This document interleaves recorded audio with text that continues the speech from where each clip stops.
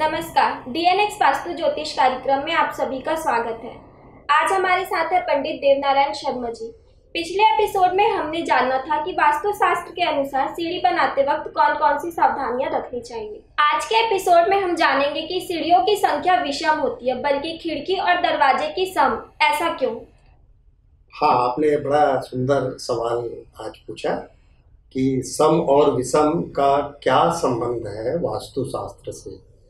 आप आप सब देखते हैं कि वास्तुशास्त्र में हर जगह खिड़की, दरवाजे और वेंटिलेटर, उसके साथ साथ कालम की संख्या, ये सारी की सारी सम रखी जाती है। सम संख्या मतलब जिसमें दो का भाग चला जाता है। इवन नंबर बोलते हैं उसको इंग्लिश में, जिसमें दो का डिवाइड हो सकता है। दो, चार छ आठ, दस, ये सब सम संख्या माने जाते हैं, जबकि विषम संख्या वो है, एक, तीन, पाँच, सात, नौ, जिसमें दो का भाग नहीं होता ऑड नंबर जिसको हम बोलते हैं।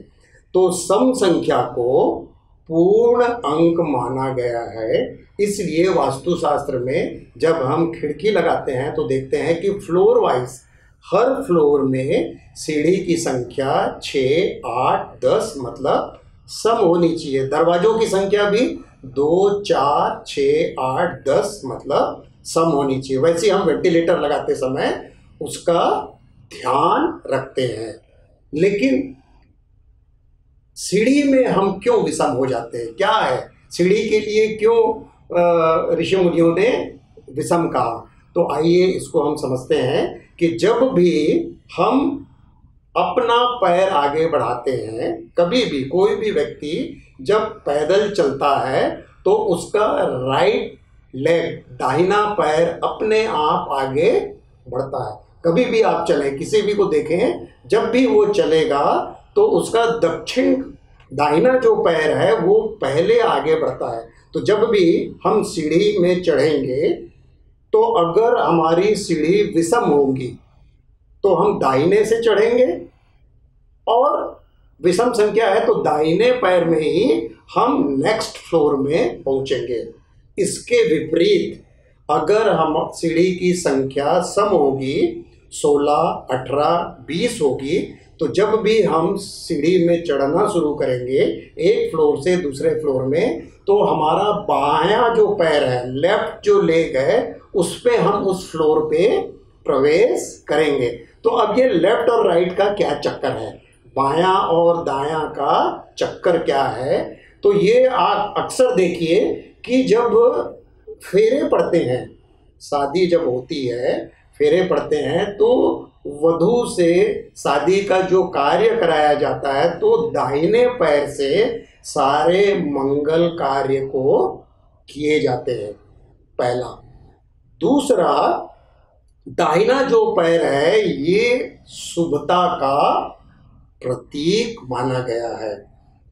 तीसरा, जब गृह प्रवेश होता है, जब हम वो शादी करके लड़की घर पे आती है, बहू जब घर के अंदर आती है, तब भी मुख्य द्वार में जब हम पानी डालते हैं और बहू जब घर के अंदर प्रवेश करती है, उस समय भी दाहिने पैर से उसका पैर को आगे बढ़ाया जाता है।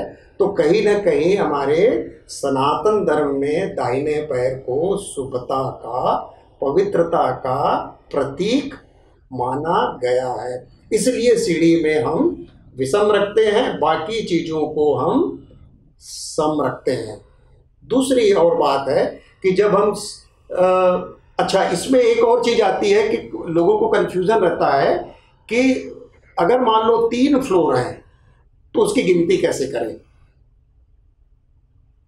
तीनों फ्लोर को विषम करें या अलग अलग फ्लोर में? तो मैं, हमारे वास्तु के जागरूक लोगों को मैं बताना चाहूँगा कि विषम संख्या की गणना फ्लोर टू फ्लोर करना है। एक ही फ्लोर की गणना करनी है। ग्राउंड फ्लोर से फ़र्स्ट फ्लोर, ये विषम होनी चाहिए।